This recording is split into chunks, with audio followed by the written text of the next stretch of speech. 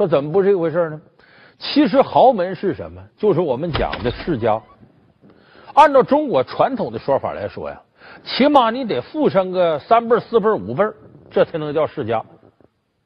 而你就这么一辈两辈，那充其量算暴发户。暴发户的孩子，也就是纨绔子弟。起码到现在为止，我们说汪小菲个人有多大的建树，跟那些企业家能比吗？比不了。那么中国有句传统老话叫“富不过三代”，什么意思呢？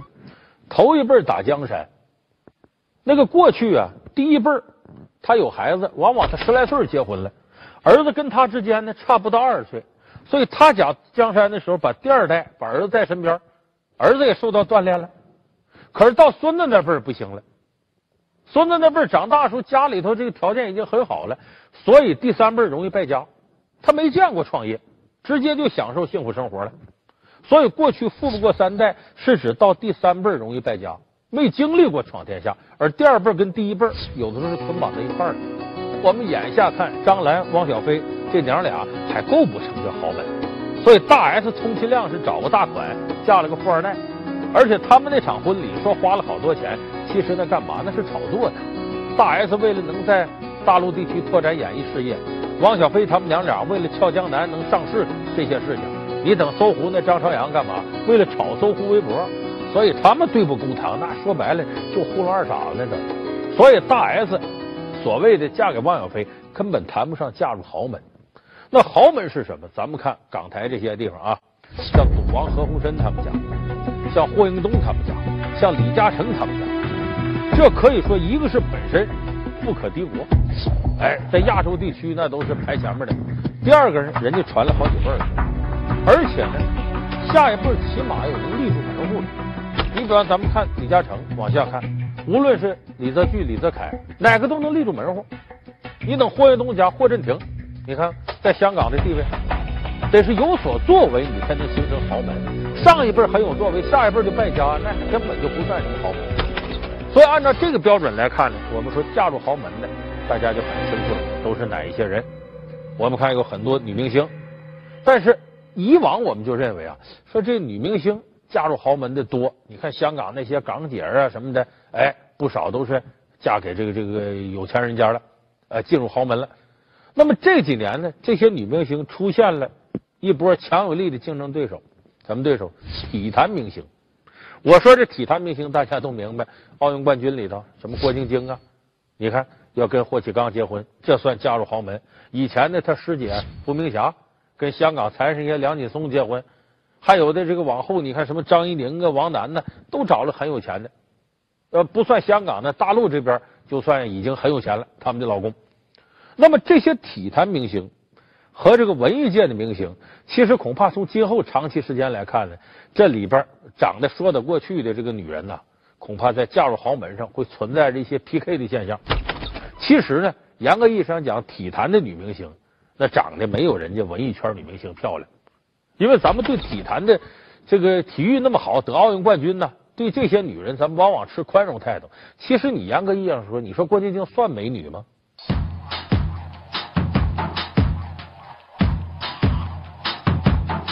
你跟那些港姐比，她能算得上吗？可是呢，她在她的领域，你比方说一登上跳水台，啊，头发一甩。得了冠军，往上一走，你一看万种风情。为什么？我们认可他这能耐。其实你要看论长相，这体坛女明星她不如这文艺界的。可是问题为什么有的时候我们看这些豪门呢，倒喜欢体育界的呢？这里边就是因为豪门的取向不仅仅是漂亮，他什么取向？比方说，他对于你出身和文化程度，对于你的地位各方面，豪门都是有苛求的。我们看女明星身上有一些弱点，什么弱点？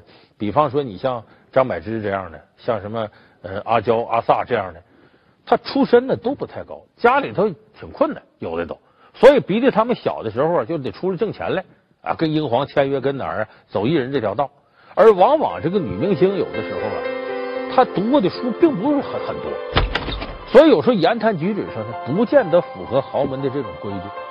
那么这样的事儿是非常多。你比方说贾静雯，咱们都知道。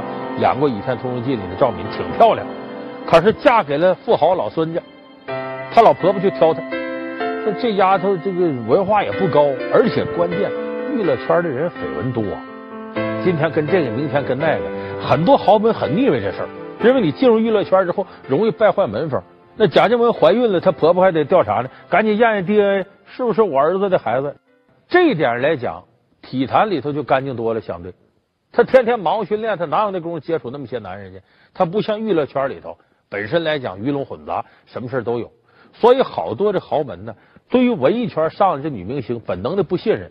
所以一些这个文艺圈的女明星呢，想真正的进入豪门呢，往往都要经过这个考验。有的呢，经过不了，或者自个儿受不了。中间就下去了。你比方说名气极大的邓丽君，邓丽君当年呢差点嫁给咱们现在看各地的香格里拉酒店。香格里拉酒店那门庭是可以称得上豪门。眼看邓丽君都要跟人家人结婚了，他老婆婆说了：“约法三章，第一个你得马上退出娱乐圈，别再当什么歌星天后了。第二个在家相夫教子，伺候好我儿子。”那个邓丽君当时啊也想着。我呀，退出娱乐圈，好好过日子。可是邓丽君人是个腕儿，她有自尊心。时间他一琢磨，这话要说也得我说呀，你个老太太凭什么说这个？所以他想，这婚姻还没成了。这说明什么？豪门对你这个文艺圈上的人是有个基本要求的。那么这种要求，我们看对体坛明星来讲呢，好多体坛明星啊，你看说出身也可能很贫寒，可是他成了明星了，奥运冠军。我们说香港人有这奥运情节，你看为什么老霍家最后霍启刚相中郭晶晶，霍门上下都说：“哎呀，这个郭晶晶好啊！”为啥？奥运冠军那是英雄啊！我们看豪门有的时候嫁女择佳婿，娶妻求淑女，因为你的社会地位高，所以从奥运冠军的角度来讲呢，跟豪门的名声地位恰恰相匹配，可以说是锦上添花。所以说，很多豪门的婚姻呢，它并不是说啊，凸显你如何漂亮，如何什么。当然，你长得好看那也是呃一个基本条件。最主要一点呢，还要看门当户对。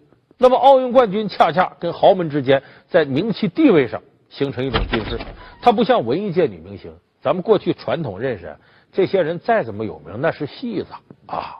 说白了，艺人他在香港社会的地位并不是有多么至高无上。后来是有钱了，说是名气大了，粉丝多了，那是另外一回事。所以说，从这个体坛明星和文艺明星在名气地位上相匹配的话呢，可能很多香港、澳门的豪门呢愿意选择体育明星。再另外一点，我们不能忽视，就是你看这个豪门呢，选择一个儿媳妇进到门来，很主要一点在于什么呢？这个老天爷有时候啊对人挺公平。你比方说，你这特有钱的家庭，偏偏财齐人不齐，什么意思？有钱是有钱，人丁不旺。生不出孩子来，你等到那穷人家可倒好，稀里哗啦一个劲儿生，这是。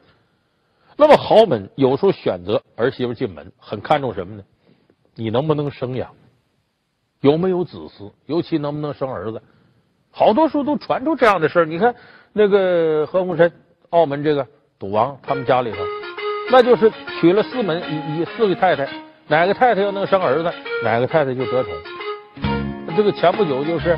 呃，香港那个恒基地产业大老板也是这个老李家的，他的大儿子李家杰，一看自个儿弟弟呢，哎，有那么俩女儿，哎，娶了当时一个很有名的女模特，但没生出儿子来，他这哥哥着急了，怕在家产继承上吃亏，怎么办呢？找代孕妈妈，说白了也不是我老婆，借她肚子怀孕给我生儿子。结果生了好几个儿子，你看这是为啥？为了抢夺家产。所以从这点来讲呢，能不能生儿子对豪门来说很重要。其实这个思想稍微显得封建点。咱们过去指的那皇后不生儿子，可能都当不长。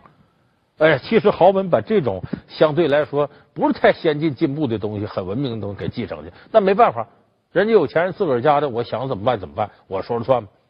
所以从这点来说，生子嗣非常关键。那么这两方面一比，文艺明星更不行。为啥呢？文艺明星好多身体都不好的，你天天喝酒啊，抽着烟啊，逛夜店呢，有的为了减肥，完了疯狂的勒着自个儿，身体不行。可是体坛明星，怎么叫体坛明星？身体素质好，很健康。你看伏明霞嫁给梁锦松之后，接二连三生孩子，身体素质好，这是。所以从这个角度来讲，很多的这个豪门喜欢体育明星，那是有道理的。包括这个香港、澳门、台湾有专门算命的，专门给人看谁是旺夫啊，怎么的？你想嫁入豪门，那的八字面相，反正这些乱七八糟的事多了去了。所以说，您听我说完就知道，所谓嫁入豪门，那绝对不是件容易的事。可是不容易是不容易，好多这个女明星，那简直前赴后继的往里挤。为什么呢？女明星她也吃清水饭的。你看挣了些钱了，哎，真要是保持原先那种花销的话，等这个青春不在的时候，再想挣钱难了。她不见得后半辈子有依靠。很多很靓丽的美人，那要没有这锦衣玉食供着，恐怕青春容颜也难以延续。所以他们都愿意往豪门里边挤，想嫁进豪门。我想这也是人之常情。但是嫁入豪门，我刚才说远远没那么容易，包括你的礼仪啊，啊，你的姿容啊，这都方方面面。而且你进了豪门以后，你要守人家的规矩。你明星的时候，你总在万千宠爱之下，愿意抛头露面；进了豪门，人家让不让你这样，这都难说了。而且绝大多数豪门希望自个的儿媳妇低调点，不要那么张扬，不要跟那圈子里人乱混。那对于已经混习惯了的文艺圈人，能不能守了这规矩，这还是一回事所以说，这个嫁入豪门呢，本身来说挺困难一件事。